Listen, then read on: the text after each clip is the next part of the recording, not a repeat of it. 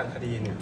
ผมคิดว่าเจ้าภาพปรากนอกเหนือจากพี่น้องประชาชนแล้ว ก็คือทางกองทัพบกที่ต้องอุทธรณ์คำสั่งหรือไม่ต้องดำเนินการยังไงหรือไม่ ซึ่งพวกเราก็หาเรื่องก่อนน้านี้ว่าต้องไปหา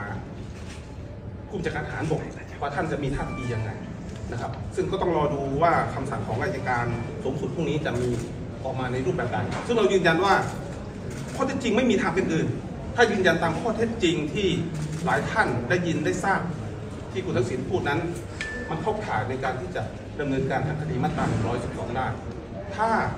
มีคำสั่งว่าไม่ฟ้องอายการต้องชี้แจงสังคมให้ได้ในประเด็นนี้ แล้วกองทัพคุณจะเอาต่อยังไง คิดต่อยังไงกับกรณีนี้เช่นนี้นะครับถ้าตามเวลาที่ในการสูงสุดจะนัดพรุ่งนี้คือ9โมงเราจะมาติดตามใกล้ชิดที่นี่ไหมคะไม่ครับไม่ครับก็เดี๋ยวพวกเราก็เฝ้าติดตามจากสถานการณ์รายงานข่าว นะครับเดี๋ยวจะหาว่าพวกเรามากดดันทางอายการผมว่ากระบวนการที่พี่น้องประชาชนสร้างการมีส่วนร่วมคือการมายื่นหนังสือ และแสดงเจตจำนงได้ได้ดำเนินการแล้วในวันนี้อย่างพรุ่งนี้มันก็ผ่านมาหลายเดือนเรายังยืนยันจุดยืนเดิมก็คือคุณทักษิณต้องกลับเข้าสู่เรือนจำใช่ไหมคะถึงแม้ว่าอาจจะมีกระแสว่ามันผ่านกระบวนการต่างๆเพื่อเอื้อของให้คุณทักษิณนะครับคือเวลาไม่สามารถลบความผิดได้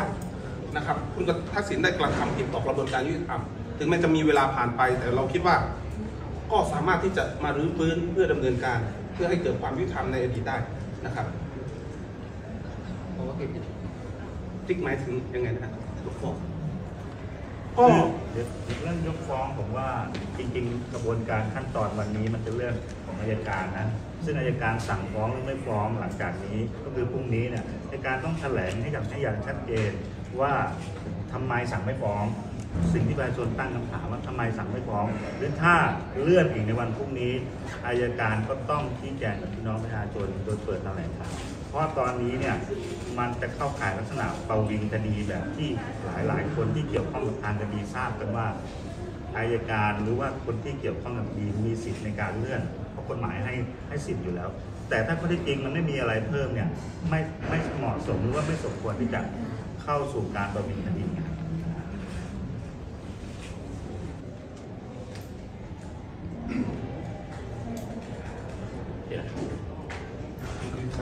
นะครับขอบพระคุณครับครับ ก็ในนามตัวแทนของสำนักงานในการสุขภาพโดยมีผมนาเคนรองพิวัตรรองโฆษกมีท่านนรงค์นะครับศรีรักษารองโฆษกมาเป็นตัวแทนสำนักงานในการสุขรับเอกสารจากพวกท่านในวันนี้ ก็จะต้องกลับเรียนกับพวกท่านนะครับ แล้วก็พี่น้องทุกท่านที่ร่วมเดินทางมาในวันนี้ว่าสิ่งที่ท่านในมายื่นในวันนี้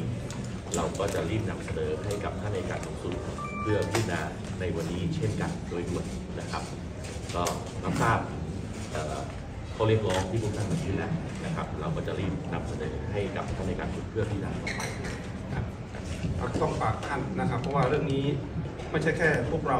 กลุ่มเครือข่ายนักศึกษากรมศและกองทัพที่ติดตามเรื่องนี้เท่านั้น ผมคิดว่ากระบวนการติดตามทางสังคม หลายท่านก็ห่วงใยรวมทั้งพี่น้องสื่อมวลชนเองก็ติดตามเรื่องนี้พอสมควรผมไม่อยากให้ จำเลยกลายมาเป็นอายการแทนที่